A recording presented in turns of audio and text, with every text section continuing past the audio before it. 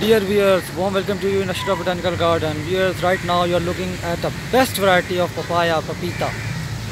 Viewers, botanical name is Carica papaya. And viewers, you can see that this is why this is uh, the best variety because where you have often heard that papaya needs uh, two, uh, at least two plants, male and female plants, female, male and female trees to bear fruits. But this variety, this variety is called the pink lady papaya it is uh, it bears fruit on a single tree.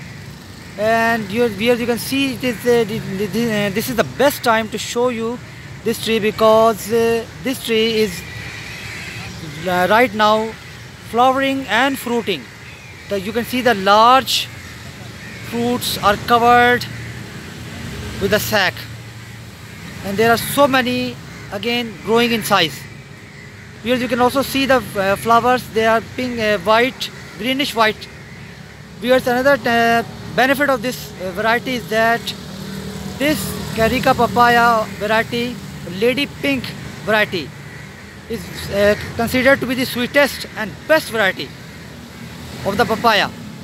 So we I'm sure you have enjoyed this video and you can plant this beautiful papaya tree on your front yards, on your backyards. Stay blessed.